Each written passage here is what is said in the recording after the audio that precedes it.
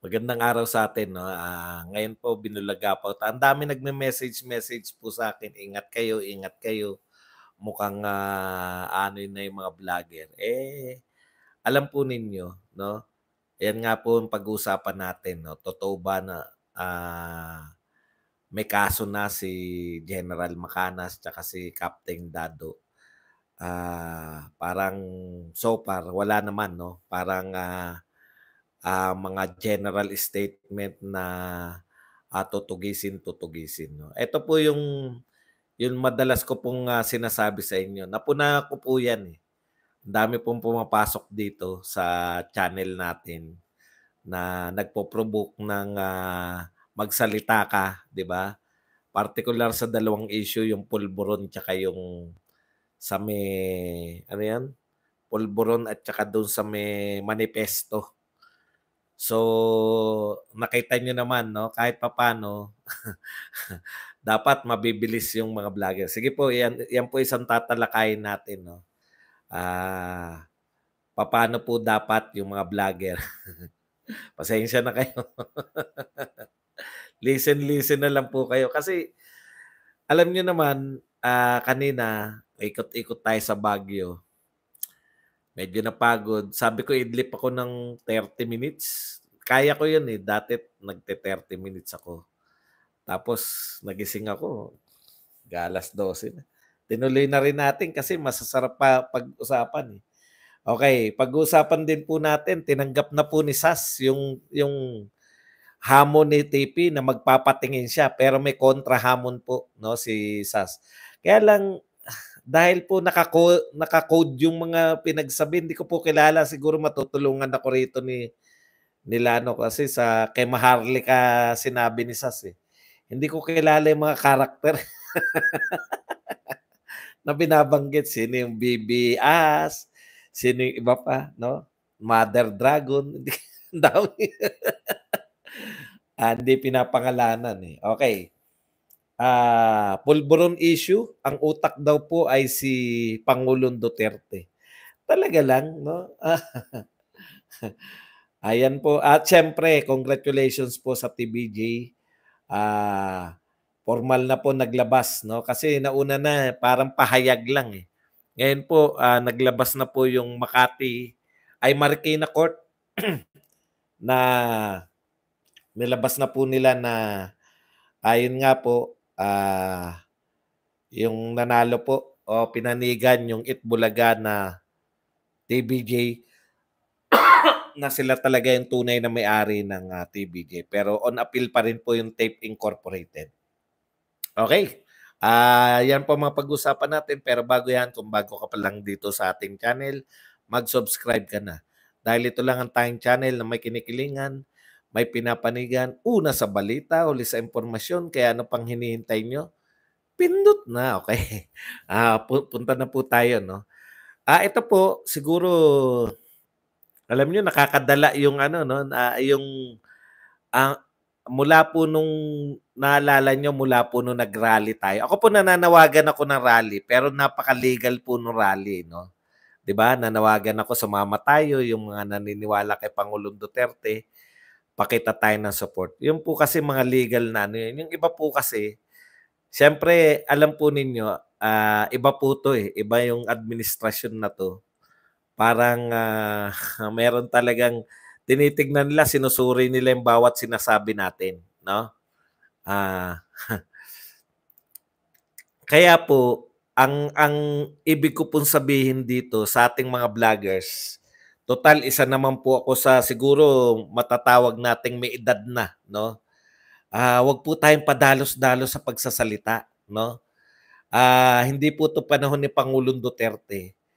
Uh, uh, na uh, banatan lang, 'di ba? Sa nasanay tayo, baka nasanay po tayo nung panahon ni Pangulong Duterte na binabanatan tayo ng mga kakamping, dilawan, media, at kung sino-sino pa. Tapos nagko-kontra banat lang tayo sa kanila. Very malaya po eh. Malaya po yung ano, uh, very healthy po yung yung wala po mga threat-threat kasi si Pangulong Duterte mismo ganun yung diskarte niya, 'di ba? pag binanatan niyo siya, babanatan lang din kayo. Hindi po uso kay Pangulong Duterte yung kakasuhan ka. Hindi uso. Wala tayong narinig na yung mga taga-Rappler eh pinakulong ni Pangulong Duterte. Wala tayong narinig na binabara niya lang, di ba? Baka nasanay po tayo sa ganun, no?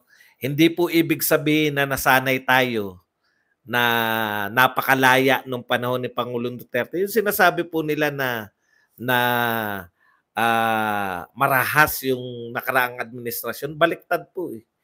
Yung nakaraang administrasyon po ay napakalaya ng mga tao. Yung panahon lang po, o oh, yan, yan kitang-kita nyo sila, di ba? Yan, tignan nyo, kitang-kita nyo po eh. Uh, tot, uh, nagpo-provoke po sila na makakuha sa akin ng mga, baka magkamali ako, mapikon nila ako, makapagsalita ako. Alam nyo po si Badong, isa po sa mga attributes ni Badong, uh, pasensya na kayo mga uh, trolls na nanghuhuli ng mga sinasabi ko. Mentras na nagagalit si Batong, si Badong, lalong tumatalas yung isip ko na ito yung mga hindi dapat sabihin, ito yung mga dapat sabihin, no? Hindi po ako yung pag nagagalit nawawala na sa sarili. Alam kong galit ako. Naha-high blood lang ako pero hindi niyo po ako? Halataan nyo eh. Kaya, ah, uh, sila ngayon ang gagalitin natin. Anyways, nung panahon po ni Pangulong Duterte, uh, bayad-bayad lang. No? Bayad, ah, bayad-bayad. Nabasa ko yung bayad. Anong panahon ni Pangulong Duterte? Banatan lang. Malaya lahat. No? pwede nga tawagin, tawagin si Tatay Digong no na Digong nyo o kung ano pa man, no? Ah, talagang ilan ilang beses siyang binabanata ng Rappler. Harap-harapan nga eh, si Bergonya, no? Ah, Mayor, ay Mr. President, ila, sino pa po ang susunod na mamamatay na mayor? Ganun po, ganun po ang banatan noon eh. Pwedeng harapan at harapan ka rin titirahin ni Pangulong Duterte. Naalala ko yan eh. okay. So, para po sa ating lahat ng mga vlogger, sa maniwala kahit sa hindi, iba po ang sitwasyon ngayon. Hindi po po pwedeng sabihin nyo yung, yung mga gusto nyo lang sabihin. Dapat po maging responsable tayo. Yan po yung tinut inaano ko sa ano eh, true example eh, di ba? Dapat lahat ng sinasabi nyo na fully research nyo, meron kayong basihan na yan po yung aral nung kay Eric eh at saka kay Badoy, di ba? Dapat uh, yung yung sarili ninyo, no? Alam nyo yung sinasabi nyo. Kaya pinaka-safe po sa mga vlogger, lalo na po kung ta- kayo po ay uh, hindi po maka-administrasyon, no?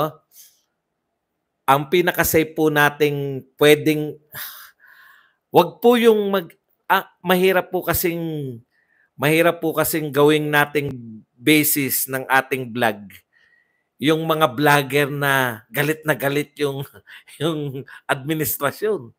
Nakukuha po nyo. Dapat meron kayong independence. Alam ko marami sa atin humahanga kala Maharlika, Kalasas, at kung sino-sino pa na hinahanga natin mga vlogger. No? Pero hindi po dapat na sila na po ang sapat na po yun na pag source sila yung source natin eh okay na po yun no? Dapat po kung gusto talaga nating may laban-laban tayo sa sa safety no? Oh kita mo yan di ba? Ayan pa nagagalit ako niyan. Halata niya raw ako na bayaran. Kasi gusto ayaw ko kayong mapahamak ibig ko sabihin dalawang issue rito eh na nag-ingat talaga ako eh. Ang dami nagpo-provoke dito yung sa pulburon, anong masasabi mo sa pulburon? Anong masasabi mo sa pulburon, di ba? Okay. Tingnan nyo. Yung ano yung masasabi nyo sa pulburon. Hindi ako nagre-react. Pinipigilan ko yung sarili ko kasi alam ko, no? Etong, eto, puputok to, ano to eh, pambait nila yan eh. Hindi ko alam kung saan papunta eh yung issue ng pulburon. Kaya ako, hanggat hindi ko nakikita, very safe ako ron na, teka muna, hanggat hindi ko yan nakikita, hindi ako mag, magre-react na parang totoo na yan. Kasi ang dali natin pitikin eh. Sa totoo lang, yung mga media, ha, kaya sobrang tatapang niyan. Meron silang organization. Merong may-ari yung media na mga munyam. Mga munyaman po may may-ari ng mga media. Hindi naman po mga pipitsug, pipitsuging mga tao yung may-ari ng ABS-CBN, GMA7. No? Tayo po, protektahan po natin yung sarili natin. Pwede po tayong bumanat Katulad po ng ginagawa ko. Kumukuha tayo ng impormasyon. Gusto nyo, banatan nyo yung mga yung mga sila mismo para hindi nila madidinay. Ito yun, eh, lumabas yun sa balita eh. Di ba? Wag po tayong, ah, si Lamaharlika, kaya nila yan kasi may source sila eh. Yun po yung sinasabi ko eh. Yung source nyo po ba, no? Pwede niyo po bang sabihin, ang source ko, yung source din ni Maharlika? Nakausap niyo ba yung source ni Maharlika? Eh kaya niyang panindigan yun. Yun yung point ko. Yung mga sinasabi nila Maharlika, sinasabi ni Attorney Glenn Chong, kaya nilang panindigan yun kasi sila mismo yung may source. Eh kayo, kung nakikisource lang kayo, tayo pala, kayo. Kaya katulad niyan, ano po ang sabi ni General Macanas? Pinapaliwanag niya po ngayon. Yung sinasabi po, uh, dalawa po ang pwedeng ikaso sa akin. Handa naman sila makulong. Kaya lang ang sinasabi nila, opinion nila yun eh. Tayo po, uh, bagamat matatalino tayo, no? Bagamat ma- matatalino po kayo, tayong mga vlogger, ng mga Duterte, naniniwala po kung matatalino tayo eh. Kaya nga po, isama po natin sa katalinuhan natin yung yung lahat ng sasabihin natin, real talk po, lahat ng sasabihin mo sa vlog mo, hindi po nakabatay sa ibang tao. Lahat ng sasabihin nyo sa vlog nyo, dapat nakabatay po yan sa sarili nyong pagsusuri. Sinuri nyo mismo. Siguradong sigurado kayo sa mga sasabihin nyo sa vlog nyo. Yun lang po, bilang isa sa mga nakakatandang vlogger baka pwede nyong ma, ma kasi pwede naman eh, di ba? Uh, ang pinaka uh, wag naman natin sabihin na maari tayong makulong o kung ano pa man. No?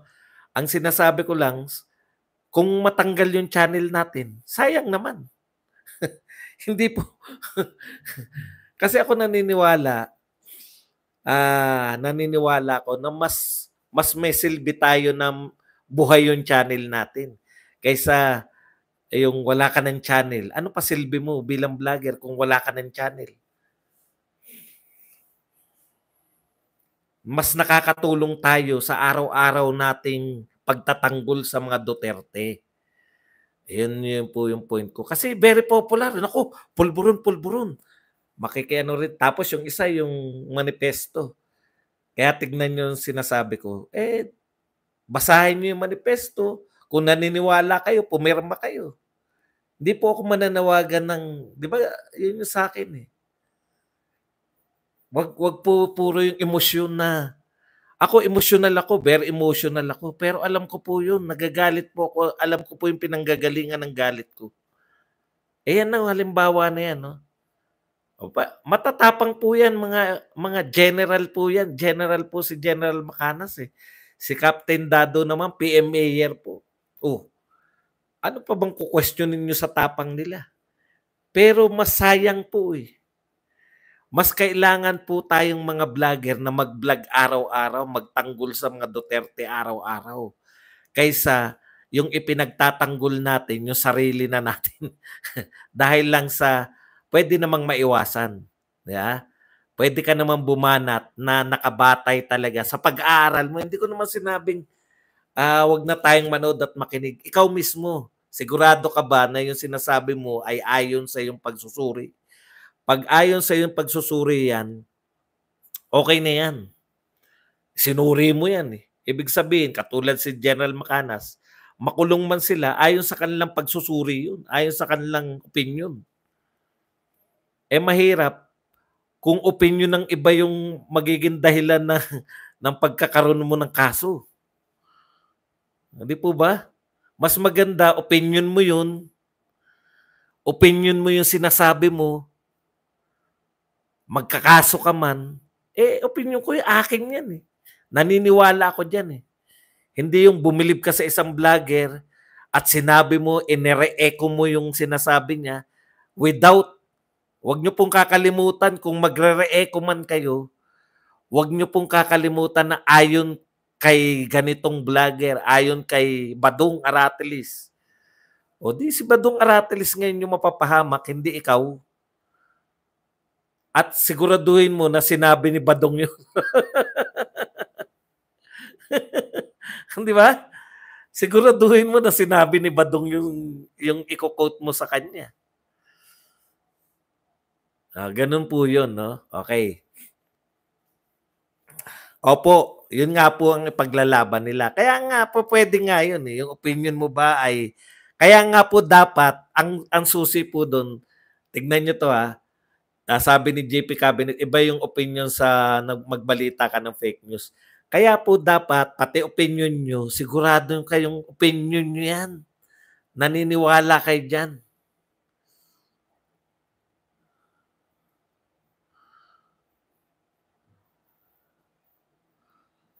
Okay. So yan lang po yung at aking kontribusyon, no? Kung makaka marami, alam ko marami nakikinig na vlogger sa atin, eh, no? Uh, wag po tayong padalos-dalos sa ma, lalo na po yung yung yung kasi nariyan na yan yung video natin. Alam nyo pa, kahit burahin nyo yan, nakuha na po yan eh. Ako nga eh, yung minsan ako naka, naghubad eh hanggang ngayon, paulit-ulit na lang yung na, lagi ko nakikita yung nakahubad ako. Kailan ba?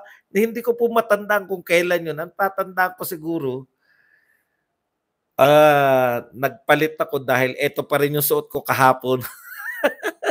Baka mahalataan nyo na nawala sa isip ko na nagpalit ako sa harap ng camera. Yun siguro yun, yung instant. Hindi ko po sasadyain na nakahubad ako na nagba-vlogs. Wala po yun. Okay. Ayun, paulit-ulit na yun. Yung video ko na yun na nakahubad ako. Eh, ano lang yun, saglit lang po yun. Yun yung sinasabi ko sa inyo, nariyan na po yan palagi.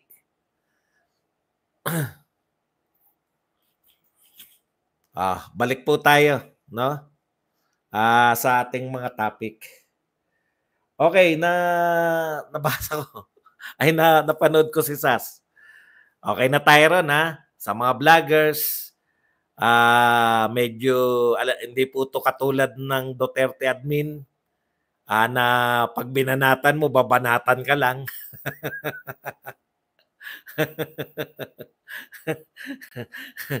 so, ingat-ingat po tayo lagi sa ating mga sinasabi. No? Hindi porket nakalusot tayo noon kay Pangulong Duterte dahil hindi po tayo na uh, wala walang siyempre ano yang kay Pangulong Duterte, yung kalayaan sa pamamahayag, talagang pinapahalagahan niya yan. Okay, punta na po tayo rito sa ibang balita. Uh, nagkahamunan si SAS, di ba? Tsaka si RJ Nieto o Thinking Pinoy. At hinamon po ni Thinking Pinoy na mukhang may sa... Uh, yun nga po, di ba? Yun yung gustong palabasin, no? Atake personal hindi po niya sinasagot yung mga dami pong binanat ni ni Sas eh. Tungkol po sa mga extra confidential uh, kung ano man ang tawag doon no? Yung uh, perma-perma lang uh, uh, hinahamon ni Sas yung mga ano yun yung paghamon ni Pangulong Duterte. Ang sabi po ni ano ni Sas ngayon napanood ko o sige namin ko na ay ano uh, tinatanggap ko yung challenge at talagang luka-luka ako. Umamin na luka-luka eh. Pero ang hamon niya po, eto naman ang kontra hamon niya. Hindi ko po alam kung sino hinahamon niya, no? Si TP ba? Kasi iba-iba po yung alias na sinabi ni Sas eh.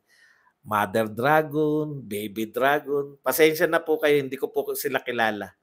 No? Ah... Uh, si Kapelsar naghamunan daw ng lalaki sa lalaki. So ang hamunan ang hamon po ni SAS ngayon ay uh, lifestyle check, no?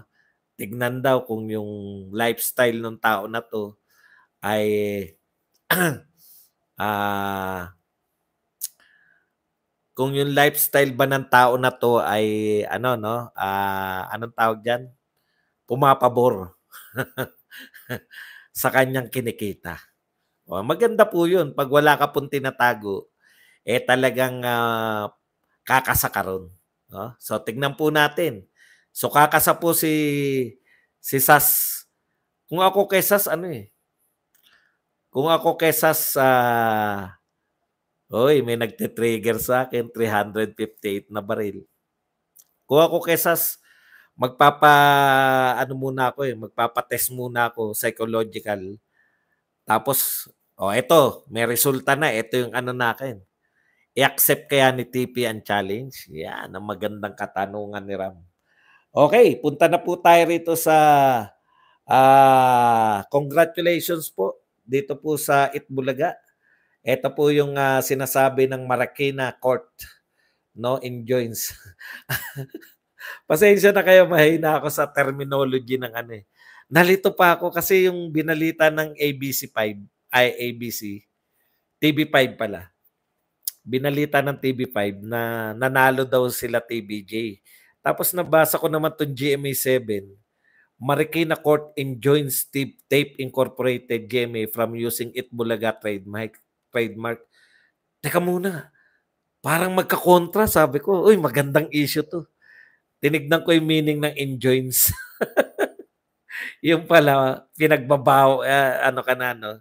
Bawal na. Pinagbabawal na po ng uh, Marikina Court yung Tape Incorporated, yung nasa Channel 7, na gamitin yung at saka yung GMA from using it Bulaga trademark. Yan. The Marikina Trial Court As in joined. Yung pala ibig sabihin na enjoined. Akala ko pwede pa nilang gamitin. Ah, uh, the Marikina Regional Trial Court has enjoined the television and production exponents Inc.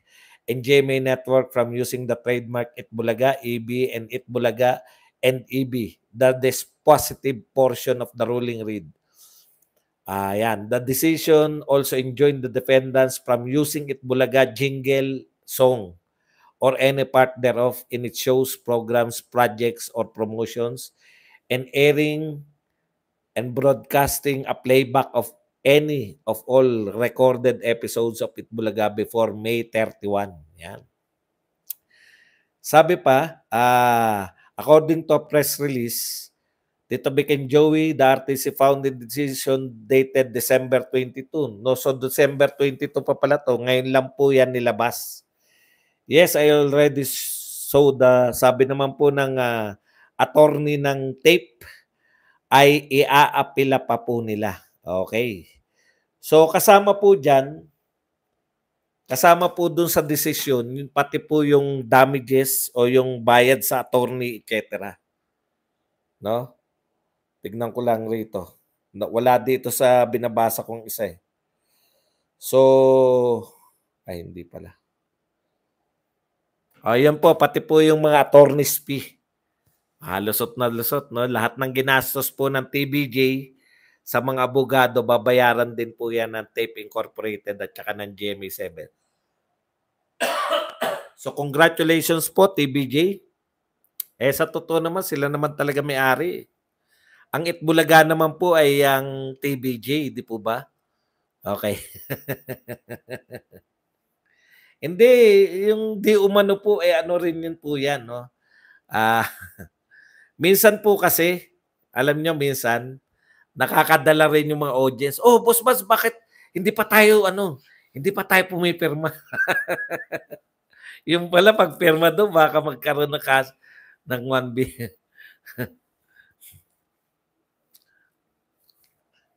Kayo naman, no?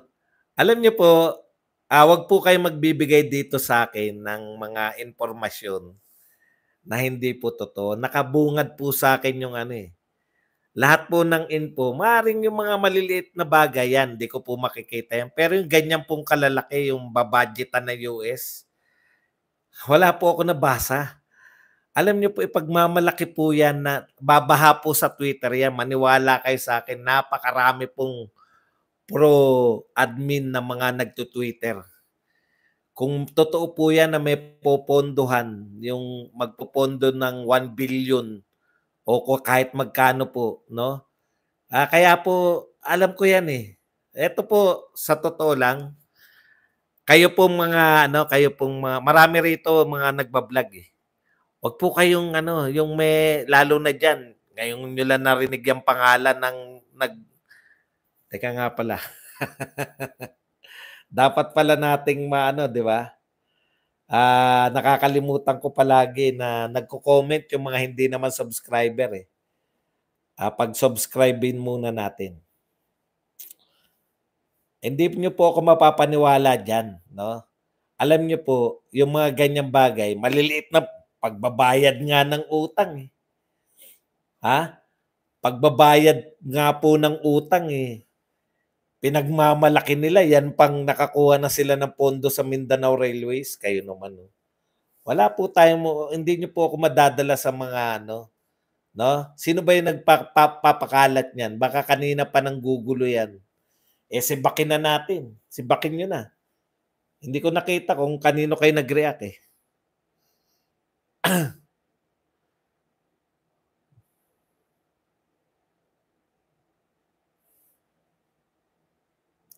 Huwag po kayo magpapakalat dito ng fake news. Kasi alam ko yung gagawin nyo eh. Ginagawa nyo eh. Gusto nyong basahin ko yan. Kaya ako hindi ako nagbubura ng mga tape ko, ng mga video ko ngayon. Ah, uh, doktorin nyo man yung video ko, meron akong original na video. Yan, sinasabi ko na yan sa inyo. Nauna na akong makaisip niyan bago nyo pa doktorin yung mga video ko. Okay. Ah.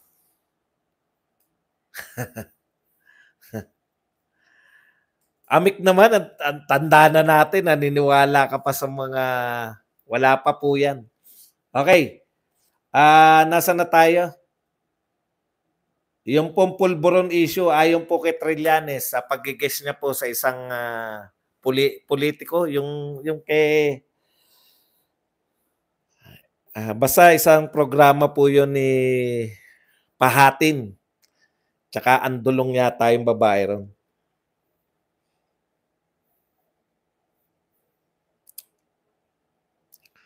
Sabi po ni, ang akusasyon po ni Trillanes, ang ugat po niyang pulburon video na yan ay si Pangulong Duterte daw po, no?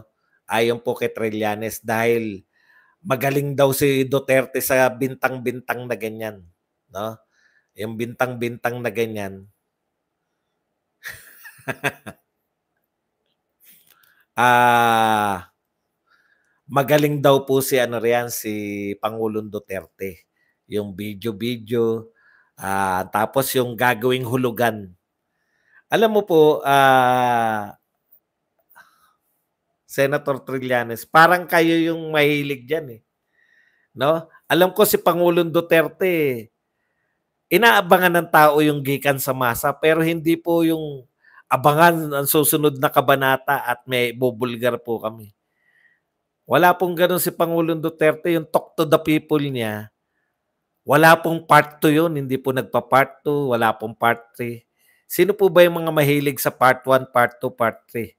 'Di ba? Bikoy part 1, Bikoy part 2. Ngayon naman kay Las Cañas, may Las Cañas uh, part 1, may Las Cañas part 2. Episode 2, sabi ko nga, ang kantsaw ko nga eh. Ay, may episode 2 na pala. Hindi pa namin napanood yung episode 1 ha. Ah.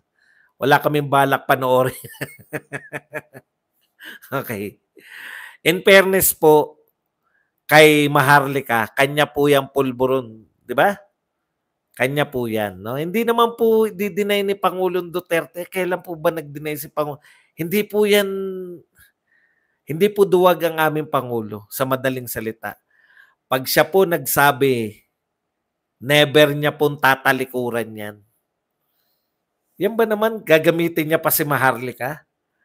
ang pagkakaalam ko po, hindi po sila, ano ba sila ni Maharlika? Alam ko si Maharlika, loyalista eh. Di ba? Na na disgruntled. Siya po yung isa sa mga unang unang mga loyalista na bumaliktad eh. And never po siya naging Duterte supporter. Hindi ko po siya nakikita sa mga Duterte. Sila, si Tipi pa, nakikita ko may mga picture pa kay Duterte. Pero si Maharlika parang wala talaga. Pa, talagang Marcos loyalist talaga si Maharlika. Sa kanya po nagmula yun. Give credit where credit is due. No?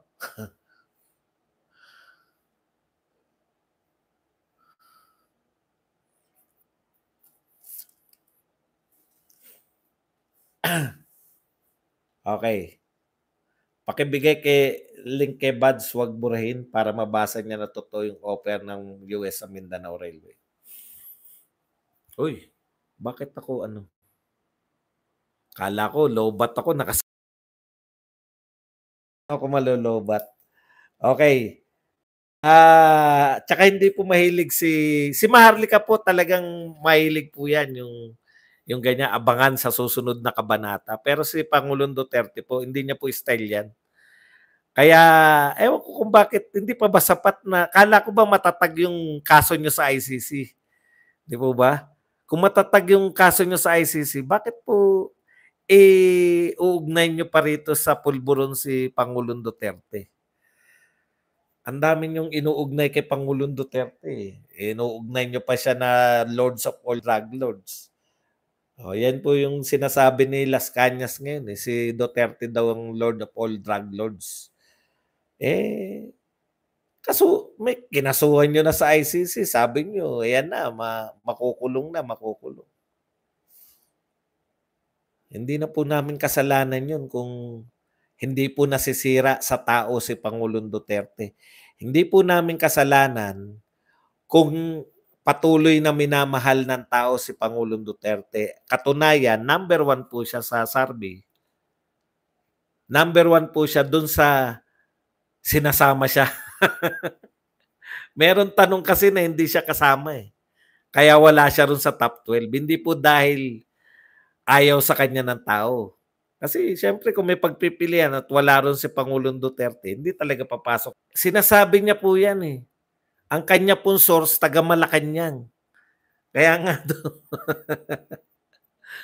kaya nga minsan iniisip ko, hindi kaya pinipidan si Maharlika ng mga maling info para madaling tirahin, di ba? Tingnan nyo ngayon, tinitira yung may pulburon. Nasaan na yung pulburon? Nasaan na yung pulburon? Puta. Eh, nihintay ng mga taga rito kay Badong, kailan ang rally? kailan ba susunod na ano na hearing kay Pangulong Duterte na makapag-rally naman. Ayan po, hindi po sedition yan. Hindi po nananawagan kasi yung rally po ay legal. Lalo na kung ang rally mo ay hindi ka naman nananawagan na ibagsak-ibagsak. Ang rally mo ay uh, pagtanggol si Pangulong Duterte. Yung po mga pagkakaiba, no? Kahit po rally yan, pero nananawagan ka ibagsak po, ta sedition din. Sana po uh, may ala, ma, may kaalaman din po tayo sa batas. No, aarmasan oh, unang-una po no, hindi po po pwede na uh, hindi po po pwede na uh, basta-basta tayo yung kung vlogger po kayo kahit po siguro supporter 'di ba napupunan niyo po uh, na, sa sobrang tuwa niyo uy okay to kailangan po man naniniwala po kayo sa mga sinishare nyo. No? Eh, ito po pinaka-safe. Kasi kung naniniwala kayo sa sinishare nyo, at makulong man kayo dahil sa sinishare nyo, at least naniwala kayo. eh, ganun talaga. Pagtatawanan na lang natin. Eh. Kasi pinanood ko si ano ngayon, si Makanas yung latest niya 8 hours ago. Ewan ko kung may mas latest pa ron. Pinapanood ko siya eh. Uh, pinanood niya raw yung kung ano raw yung ano. Nagtatanong lang naman daw siya. Parang nagpapaliwanag siya ng ano eh, ng uh, mga senaryo bakit ganun yung topic niya. Di ba? Yung topic niya yata na uh, sa yung may kumukumbinsi kay Pangulong Marcos para mag-resign, parang ganun. No? Oh, yan sinabi niya na ni-review niya, tinignan niya, parang opinion niya lang naman daw yun. O yun po yun, at least sanda siya makulong dahil sa kanya opinion. Kayo po, o sa atin po, ito ang una niyong kukwestiyonin sa sarili niyo. Ito ba'y naniniwala ko rito sa... Kasi nagsishare kayo eh. Yung sharing po, kasama rin po yan. Ma- vlogger man kayo o hindi kayo vlogger. Pwede po kayo makasuhan. Yan po bang sinishare nyo, naniniwala kayo? Kung naniniwala po kayo, di makasuhan man kayo, tatanggapin nyo kasi naniniwala kayo. Eh. Yun lang po yun. Pero kung, kung medyo alanganin, yan po yung rule of the thumb natin ngayon. No? Tapos na po yung panahon na lahat pwede nating sabihin. Tapos na po yung panahon lahat pwede nating i-share. Ngayon po, kinakailangan po kahit po kayo follower lang ng isang vlogger, kahit po kayo, mag-ingat din po tayong lahat. No? Ang, ang sinasabi po natin, lahat po ngayon ay tinitignan kung ano yung mga sinishare, sino yung nagpapakalat, posibilidad ba?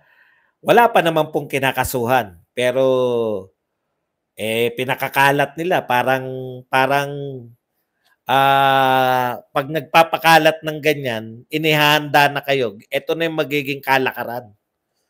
Eh wala naman pong masama sa pinaniniwalaan nyo yung sinishare nyo. Ayun po, ang ganda ng ano, ah, ang ganda ng uh, ano ko ron. Kunwari, naniniwala kayo na dapat mag-rally para kay Tatay Digong. Rallying, kinasuhan siya eh. Magpapakita tayo ng support. Pwede nyo i-share yun. Yun lang ang laman eh. Di ba? Pero mag-share kayo ng mga uh, medyo alanganin kayo. Eh kayo nga alanganin, huwag nyo na i-share. Yun lang po ang pwede kong ma maipayo sa atin. Hindi ko sinabing matakot tayo.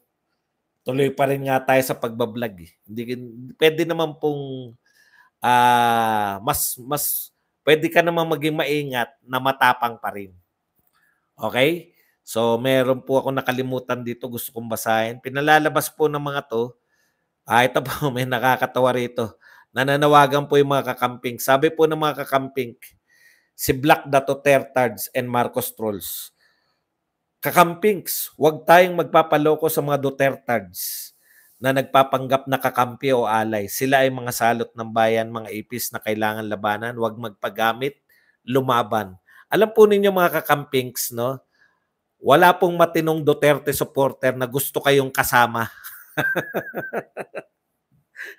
Hindi po Duterte supporter yan kung meron pong kinamumuhian ng mga Duterte supporters, dalawa po yan no, sa kinamumuhian namin.